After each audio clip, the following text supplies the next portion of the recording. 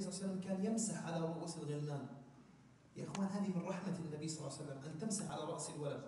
سواء كان ابنك أو ابن عمك أو ابن خالك امسح على رأس الولد وبين لك محبته محبتك له. هذا يا إخوان لابد أن يكون إن شاء الله. آه، بما أنه الآن نحن إن شاء الله في الليلة هذه الليلة وهي ليلة العائلة نريد إن شاء الله أن يبدأ لنا آه، حبيبنا آه، يزيد بخطبة أو دعاء الحاجة بيسموها الآن دعاء الحاجة. إيش هي دعاء الحاجة؟ ما هي دعاء الحاجة؟ وهو ما يبدأ به الخطيب في خطبته. الخطيب يبدأ بالخطبة. فماذا يقول؟ يبدأ بالخطبة وي- ويسمعنا إياها إن شاء الله مين؟ ويسمعنا إياها. لا خلاص اعطيه هذا أنا بعطيه الطول آه ويسمعنا إياها إن شاء الله. يزيد هذا ولد من أبناء هذه الجالية. هذا ليس فقط ابن أخونا يزيد بل هو ولدنا نحن. كل واحد فينا ولد. من أولاد هذه الجالية هو ابننا وكل أخت في هذه الجالية هو أخت لنا إن شاء الله هي أخت لنا بإذن الله تبارك وتعالى. ونحن نريد إن شاء الله من أطفالنا أن تكون عندهم الثقة في أنفسهم أن يقدموا إخوان يقدموا لهذه الجالية الخير من أحاديث أو دعاء أو أذان أو إقامة. ونف- ونفسح. ونفسح لهم إن شاء الله المجال. شيخ يا ريت تبدلون البطارية قربت تخلص.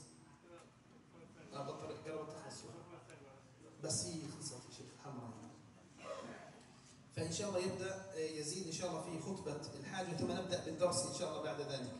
فليتفضل ما شاء الله يا شيخ يزيد يلا.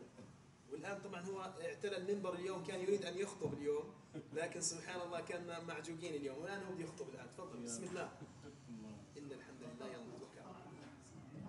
ما شاء الله بسم الله الرحمن الرحيم تعال اجلس بجنبي اجلس يلا ولا توقف أحسن. يلا وقف أحسن. اخطب بسم الله. إن الحمد لله نحمده ونستعينه نستغفرك ونتوب إليه ونعوذ بالله من شرور أنفسنا ومن سيئات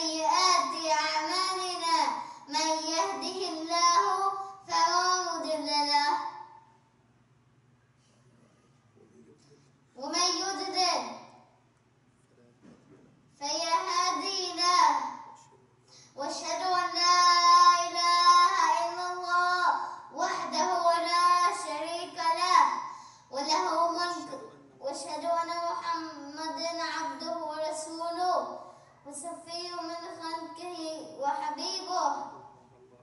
اللهم صل على سيدنا محمد. تكبير. الله أكبر. تكبير. الله أكبر. ما شاء الله. ما شاء الله يا إخوان. الله يحميك الله. يكرمكم إخواني بسم الله هذه المقدمة الطيبة.